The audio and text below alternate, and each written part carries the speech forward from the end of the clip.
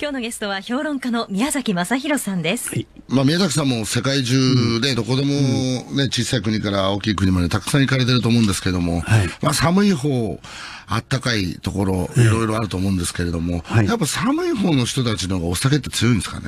あ、それはしょうがないでしょう。うん、ええだってロシア行けばね、いや、私はあの酒そんなに強くないんだけれど、うん、ロシアに寒い冬なんか行きますとね、やっぱりウォッカ一晩で一瓶開けますよ。ただしまあ小瓶だけどね、はいはいはい、720ぐらいの、うん、あの、それぐらい、あの、ロシアの風土では、ウォッカは合ってますね。で、健康にいいかったらきっと悪いと思うけれどね。まあ、ウォッカってね、すごく味が、僕たち、僕にはまだわからない。ね、テキーラお飲みになるんだから同じだ、テキーラの方がなんか。テキーラ何度 ?43 度ぐらい？何度ですかね？今ちょっと明確な数字出ないですけど。うん。うん、あのー、それはね、その国それぞれお酒がね、ありますよね。その風土に合うのがあるでしょ。う例えば、台湾ビール。うん日本じゃちょっと、うんって首かしげる味だけど、向こうに台湾行ったらあのビールが一番美味しい。ですかね。ねあの、化粧品がそうじゃないですか。うん、あの、資生堂はね、あの、日本で作ったもの、あの、暑い国には輸出しません。というより工場を暑い国の温度にして、それから作って出すか、でなければ現地に工場を建てる。うそれはね、お酒、化粧品、あの、そういうところはみんなそうですよね。微妙なね、風土に対する適応力がないと、あの、化粧品なんて特に基礎化粧品危ないでしょ。あの、そうですね。ね、ちょっと間違ったら吹き出物出ちゃうんだもんね。えー、で、何の話でしたっけ？お酒の話でしたね。じゃあ行ってみましょうか。ラジオネームさくらさんです。中国産食材の危険性についてお願いします。禁止農薬入りや段ボールの混入、果てはマクドナルドもチキン処理の衛生面で大打撃を受けたことがありました。宮崎さんにお伺いしたいのは、メイドイン PRC の表記についてです。PRC とは People's Republic of China、つまり中華人民共和国を言い換えただけで、 Made in China では売れないからとカモフラージュして実際に売り上げが倍増しているそうです。日本国内では韓国製品もメイドインコリアでは売れないからと、リパブリックオブコリアの略であるメイドイン ROK という表記で流通しています。消費者を騙そうとする困難、えー、魂胆が見え見えで腹立たしい限りです。安かろう悪かろうには手を出さないのが賢明ですね。またラジオネーム2001新さんからも中国産の落花生について危険性の質問が来ておりました。落花生ね。いや、落花生もほら、千葉の落花生を食べていると、ちょっと他の国の落花生に手が出ないという人もいますけれどね。あの今の、私の今の話を伺いながら、こういうことを思い出したんです。ある大手デパート。はい、えー、ある駐在員、北京駐在に任命されて、で、北京飯店に1年暮らしたんですね。というのは、当時外国人は、あの、市内のマンション借りれなかったから。はい、で、北京飯店に暮らしておりました。毎日食堂へ行きます。で、ある時キッチンを覗いたんだって。そしたらね、おう、また日本人かよって、まずべってフライパンに唾を吐いて、それから食事作るんだって。でね、四川省の山奥でしたかね、あの、カップラーメンね、ちょっと古いから半額にする。で、あの、近くの子供たちが4人で美味しいって食べて、死んじゃったのね、4人ともね。あのね、だから、日本だけが危ないんじゃないんだよ。中国国内が危ないんですよ。あの、そういう、その、食品の安全基準っていうことを、あんまりよく考えていないというのは、まあ一つには民度の問題あるけれど、ただね、だんだんほら、なんたって年間今350万人ぐらい中国人日本に来るわけでしょ。はいでね、あれだけ日本の悪口言ってる人たちが日本に来て素晴らしい、温泉素晴らしい、スキー場、雪、みんなか、それからあの日本人のホスピタリティというかね、うん、優しさ、食堂行ってみんな親切、水はただ、うん、それはね、感激して帰りますよ。そね、ね、それで食の安全っていうのは一番、このね、この影響力相当すごいと思うのね。だからあの、中国の金持ちなんてみんな日本から食品買って帰るじゃない。日本のお米を買い、あの、一時期この爆買いっていうのもありましたけれども、うん、まああの、1000ドル以上持ち出し禁止とか、なんかいろんな話も聞きましたけど、今その人たちお金はどうやって持ってくるんですか？クレジットカードとかなんですか？いや、あのね、年間5万ドル。ほうほうほうほうですから10回来る人は1回5000ドルですか？はい。えー、今、あ、今そうじゃない、年間1万5000ドルに減らされたんだ。はい。それでも10回来たって1回1500ドル。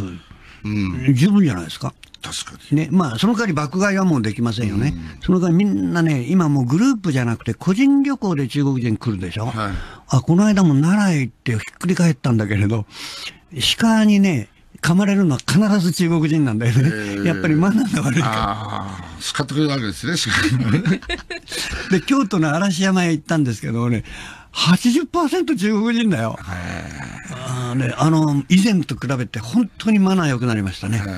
あの、食堂でもガーペなんてもうやらなくなったし、温泉なんか入ったってなんか秩序正しくおとなしく入ってるもんね、今。変わりつつあるわけですね。や、相当やっぱり変わりますよ。ほっといても。日本の北海道とか、まあ、地方のその水資源を中国が買い占めてるっていうニュースもよく出ましたけれども、この辺の実情っていうのは実際どうなんですか？それはちょっと前の、あの、まだお金を自由に党幹部が使える時の、いろんな意味のその、なんていうんですか、ビジネス要員たちが買ってたってことなんですか？いや、これね、あの、中国の場合は、国家の戦略上に必要なことは、全く例外的に送金できるわけですよ。ですから、北海道の場合はね、あの、苫小牧から根室に至る、こっち側しか買ってないでしょ。あの、つまり、将来の北極航路の通り道として重要視するところを今、どんどんどんどん土地を買い漁ってると、えーいうところなんですけど、まあ、えーそんな大規模にっていうよりも虫食い状態で買ってるからね。あの、まあ、そのうち日本としたってね、今まではほら、湿原だとか森とか、何の価値もないところを買う人がよくいるようになって、どんどん売ってきたんだけれど、よく考えてみたらこれ水資源なんですよね。だからそこで今北海道も初めて気がついてるんだけれども、しかし北海道庁や知事は、いやいや、どんどん売ろう売ろうっていう、まだそういう姿勢ですからね、あ困ったもんですよねそう。ですよね。はい。はい。徳島県の忠宏さんです。徳島？はい。え、聞こえるの？え聞いていただいてますね、先日の台湾での地震被害には心からお見舞い申し上げたい気持ちです。私の周囲も親日国台湾の皆さんに対する敬意の気持ちから募金をした方々もたくさんいらっしゃるんですが、そんな台湾に対して気になるのは、やはり中国の影響と社会情勢の変化です。将来反日的な姿勢になる可能性はいかがでしょうか？宮崎先生も以前からご指摘なさってますが、国民党の馬英九総統などは、領土問題や歴史認識でも明らかに日本に対して厳しい見解を表明していました。いかがでしょうか？あのね、台湾の最大の問題はね、どこにあるかっていうのは、この外省人ですね。で、外省人が今12ないし13%なんだけれど、えーだんだん今世代交代が起きていて、はい。あの、だからこれ注目していいんですけどもね、あの前、蒋介石とくっついてきた人たちとその子供たちというのはね、あの中華思想の塊で、えーそれで統一なんですよね。あつまり台湾本省人を全く馬鹿にしてる。ただ不幸なことにこの人たちが軍、教育現場、メディア、これを抑えたんですよ。ですからね、今、台湾軍が、あのー一番緊張の問題はね、中国と戦う気力があんまりない。中華思想組ですから。ですから、このぐ軍の不気味な存在が一つの重しになって、台湾の今の蔡英文さんは、全く自由なことをあんまりできないわけよね。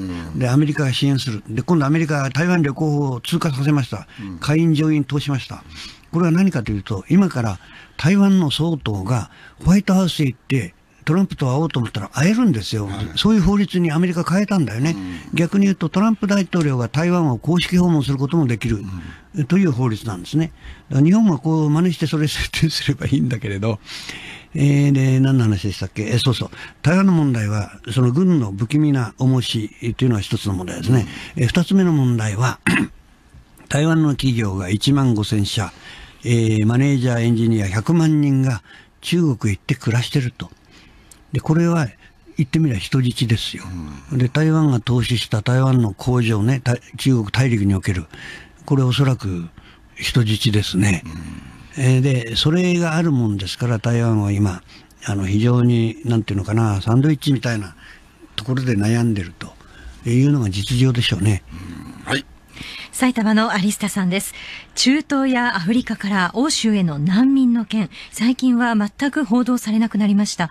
今はどういう状況になっているんでしょうか？いや、難民をドイツが無制限で引き受けたというところから、ドイツ政治の迷走が始まって、うん、それであの仲間内からみんなドイツはやりすぎだという批判にさらされて、でなおかつメルケルはやっとのことで選挙勝ったけども、4ヶ月も連立が できなかったと、えー、いうことでしょう。だから連立が不死日に終わったらもう一回選挙をやる。そうするとドイツはおそらくね、あの、メルケル敗退しますよ。えー、そこまで追い込まれてきてる。それで、その、つまり今の難民問題がほとんど全ての問題の火蓋は切ったんですね。えー、で、次の難民、これシリアの難民の話だったんだけれど、今来てるのはね、イタリアです。で、リビア。ナイジェリア、アルジェリア、エチオピア、みんなどーっとあの地中海を越えて、イタリアに来るんですよね。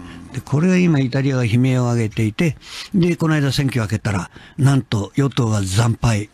4分の3は保守、もしくは右のね、えー、同盟連合と、それから、えー、五つ星運動と、はい、それからあのベルルスコーニーのこの3つが取っちゃったんですよね。で、これ今連日をやるでしょうけれど、はい、あの、そういうふうにね、えー、難民第一の問題、ヨーロッパの政治完全に変えてしまった。